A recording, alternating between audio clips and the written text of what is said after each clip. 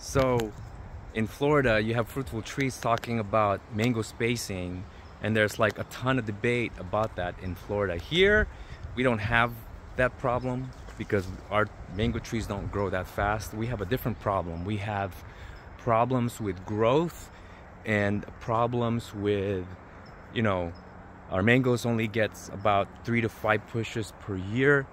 And uh, all they want to do is flower when you graft the tree. And uh, I'm gonna show you a few things. I have a strategy on uh, growing mangoes and uh, I conflict with, uh, with some friends of mine. And I wanna show you my perspective and uh, you can make up uh, your mind on what you wanna do. So here we have an Alfonso. You got a low graft right here. And you got this one. So these two branches is probably like one, two, maybe three years of growth. And look, this is the second set of flowers. It doesn't want to grow, right? My strategy now is to have high grafts, allow the seedling rootstock to have nodes that push leafy growth right here. So if this thing had two pushes of leafy growth, it'd be like this tall already, right? Say another branching that tall. And uh, I can just graft onto that in the future. And then it'll want to branch out some more and let it from the rootstock and then graft onto that. And it, you know, it might cost a little bit more if, uh, you know, bu uh, buying scions or preferably if you have local scions from your own stock, that would uh, be helpful. But, you know, time is money, guys. Uh, branching, that's to me is equity. Let me show you another issue. So we have another low graft. This is a sugar loaf. Look, another set of flowers. This is the second flower, guys. This tree, I kid you not, is smaller than last year. Now, this will hopefully push two leafy growth this year, maybe hopefully three. I'm hoping, okay? So that's an example. Here's another one. This is a cotton candy, again, a low graft you got these pushes right here. That's probably one two three four five and six maybe seven well i don't know if it's seven years but like no that's not that's one two three four five six pushes on this thing. Again if there's branching here from the rootstock that push vegetative growth you know then it'll be a bigger tree right? Um, I these flowers right here pushed one flower node already and and if it pushes another one because our temps are still below 60 then this tree is gonna grow extremely slowly. Let me show you another one. This is a Carrie tree right here. Look it looks freaking sad. It perks up in the summer but it looks freaking sad. You got branching here but these branching are above the root the uh, the graft. And so flower. It just wants to flower, right? And these flowers got hit with powdery mildew and they fall off before they're ready to be picked off. And so this has a risk of having a rebloom because our temps are still below 60. They're about to hit 60 uh, soon, but if it pushes out another bloom, I'm screwed. This, this tree is just gonna grow extremely slowly. Let me show you another one. And uh, here's a square mango, right? You got your graft point right here. And look grafts want to flower. Now if we had a few if we left a few branches that were from the rootstock and it pushed leafy growth um, then this tree would get exponentially bigger. All right now this is a pickering. Now pickering is a slow grower on its own right but look, this is the second bloom. Look at that. Second bloom. And it's a low graft. It doesn't want to push out below the graft anymore. So any bud on here, at least the first two, maybe three, are going to be blooms. And that sucks, guys, because I don't want these blooms on this tree. This this size tree is not ready to is not ready to fruit. It's you know, it's not gonna be able to to hold it. And so it's wasting its time here in California. And uh, let me show you one that uh, is a strategy of mine. All right, so this strategy I came up with uh, after watching a bunch of Rich's videos. Rich, uh, thank you for that. Uh, so anyways, we have this graft here. This is a new graph. It hasn't pushed yet. But say, Nick, say this was a push and it pushed out leafy growth, right? Or, or actually, this is a new graph and say next year, it'll be up here. And it, and uh, all it wants to do is push flowers. But the thing is, we have this. This right here is from the rootstock. Look at this. It already got, it already got a push. it already got a damn push, okay? And then it's got these buds here that most people would would remove, right? Because you want they want it to focus its energy on on this on this uh, graph right here. But the thing is, it's it just wants to flower. So if we remove that next year, that energy is gonna be diverted to flower production, maybe two times. Okay, but if you allow this to go and use that energy to put vegetative flush this year, and maybe it'll be up to here by the end of the year. So you got maybe one and maybe two, right? Maybe even it'll have three, two or three branching. That's two. And maybe it'll have another flush, right? So it'll be maybe up to here if you allow it. So that's my strategy. And in the future, then we can graft onto that, right? Yeah, we'll spend some money on scions unless we have the scions already from a mother tree, right?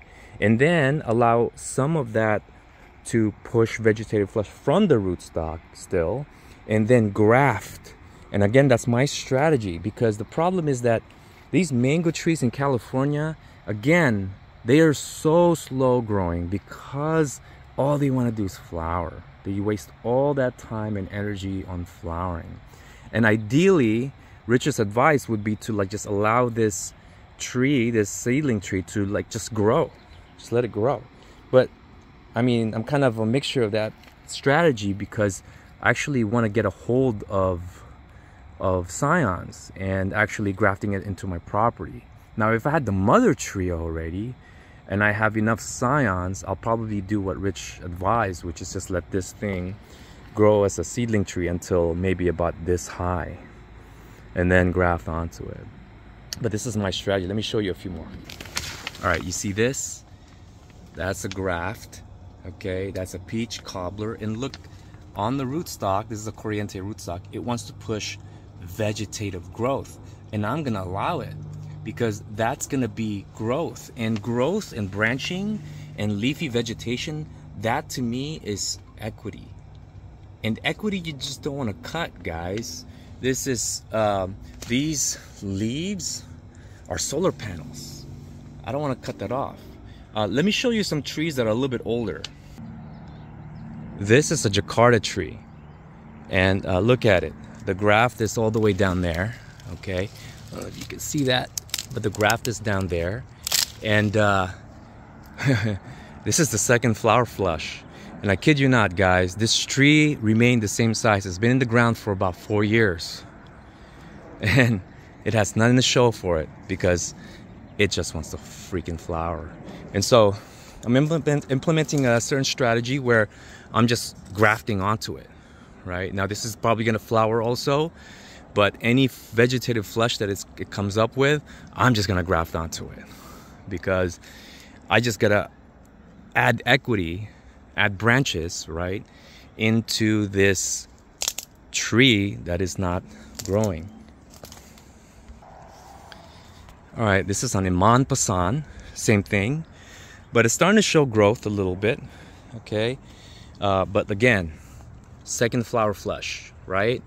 This one's cut off right before we hit 60s. So I wonder if this is gonna have a third rebloom or a second rebloom, right? So that's a third flower flush of the year. I wonder if that's gonna happen. And so I'm implementing this strategy where I'm putting a wedge graft onto uh, onto this and uh, adding vigorous varieties so that this thing can, even though it leaves out the the the vigorous um, the vigorous scion should be able to at least push and get this young. Well, it's not young. It's four years in the ground, and it has nothing to show for it. And so, uh, guys, nice strategy. I'll, you know, I'll show you a different tree just to show you. All right, so here's the orange sherbet grafted onto an Ataulfo. And here is a Carla, right? There's your two pushes, is a vegetative push from the rootstock. And I'm gonna allow it to grow, guys. I'm gonna allow this to build equity, right? Equity and rentals, right? You got these uh, these solar panels that's gonna be producing energy to eat, what I believe would feed this rootstock uh, in this this graft eventually, right?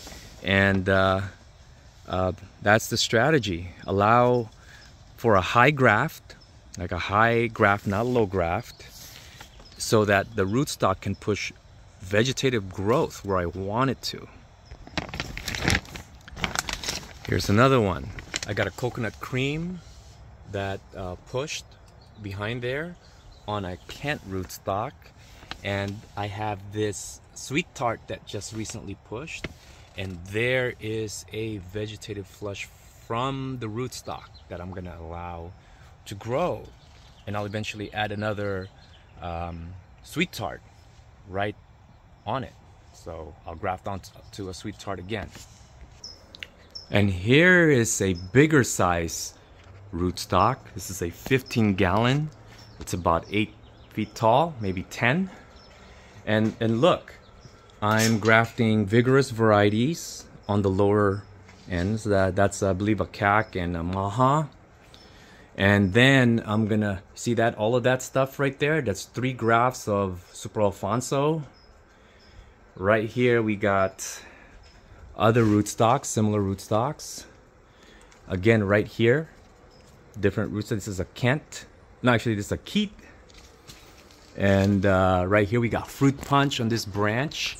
Up there we have honey kiss because honey kiss I heard is a dwarf rootstock so it's better to be on the way up there. So we'll probably put an Angie right here and maybe a Duncan or something similar that that's that's that's a good producer. Let me show you some more. Welcome to the grafting station, guys. So here we have a rootstock. This is an Ataulfo. So we have the high grafts right here. And I want this to push vegetatively because next year, we, oh, actually, well, hold up. So I'm gonna allow this to grow. Now this is taking energy because it's still not green. Once these leaves turn green, it becomes solar panels and it becomes energy producers. And so I'm gonna allow this to grow. I might even allow this to grow and branch out, branch out even more. And eventually I'll top work that branch and then graft high again and again and again until I get a big tree. And that's kind of my strategy. And you can see the similarities in this other big tree right here. We're doing, uh, um, it's kind of like a wedge veneer right here. That's a sweet tart. And, uh, doing similar things on this end. And I, again, I want vegetative flush because these grafts next year almost guaranteed are gonna do two flushes of flowers, two or three, okay? And it's gonna not, it's gonna have a slow growth. But with the rootstock having vegetative flush like this and allowing that to grow and graft onto it and graft onto it, eventually we will have a big tree here in California preventing the issues that we have with trees growing so sluggishly for the the only reason being the grafts a grafted trees just wants to flower. And so this is my strategy that I'm implementing that I'm implementing uh, thanks to Rich's advice and videos. So based on my observations from his experience and also my experience for the last seven years here growing slow growing mango trees. And so here's the graphs. Uh, we have one that might, oh, look at that cactus trying to push. We got a bunch here, right here. Okay, got a sweet tart with Look at that. Vegetative flush. And again, high grafts. Note the high grafts. This one right here, this is a smaller tree. And so it's still considered a high graft because if it was a low graft, we'd graft it all the way over here. But see, we're not sacrificing these plants, these equity. This is equity, right? This right here is equity. Now, if this doesn't take, it'll kind of render the top part uh, maybe uh, damaged. But if this takes, see, these two vegetative flushes, that's building equity, building solar panels. And uh, again, right here. So I want to know what you think, guys. Again, this is a uh, strategy I'm implementing here in Southern California and may work in California. And it's a debate similar to, you know, fruitful trees over in Florida talking about mango spacing. And uh, there's no right or wrong way to do it. I'm just showcasing my experience and my strategy and I could be completely wrong. And uh, my friend uh, who does, you know, top work, the big trees, uh, he's working with like really mature trees and uh, if, if I had access to those kinds of rootstocks, I'll probably definitely do something like that similar. But I'm working with smaller trees. Even the big trees that I have, I really don't want to cut down because I understand that those branches that the trees spent many, many, many years building, I don't want to just cut that off. Um, yeah, and then, you know, you got the branches and it's kind of like exponential, right? You got a branch, you, you, you, you do one graft, you cut off everything, you get two flowers that's pushed and maybe two flushes. But if you had three that you graft onto, yeah, it'll cost you more money, cost you what six to eight dollars per graft plus shipping, but it's exponential. You get each get two flower flushes and maybe two to three vegetative flush. And next year it'll be more. It's exponential. At least that's what I'm I'm thinking. Correct me if I'm wrong, guys. Let me know what you think. This is probably gonna be a debate that's probably gonna be ongoing for several years until I get adequate data to show the results of my practice here. All right, guys. Um, save the seeds, save your seeds, because you can grow trees for cheap by just putting the seeds in the ground and grafting it later like this. Seedling avocado here that's two years in the ground almost ready to graft onto. And uh, this mango seed right here uh, that we planted in the ground uh, this was back in August. And uh, you'll have a mango tree. So this is gonna push this was just last year from August and then eventually slowly as you kind of forget, neglect, and it just goes, it just has uh, drip irrigation. So you planted the seed on the drip irrigation uh, where an emitter is, and it'll just grow. And eventually, you'll get this tall, then that tall. And then, as you're learning how to graft and learning that skill and improving it, eventually, you'll get a ton of rootstocks that you can work with. Right here. That's a seedling tree. That's a beautiful seedling mango.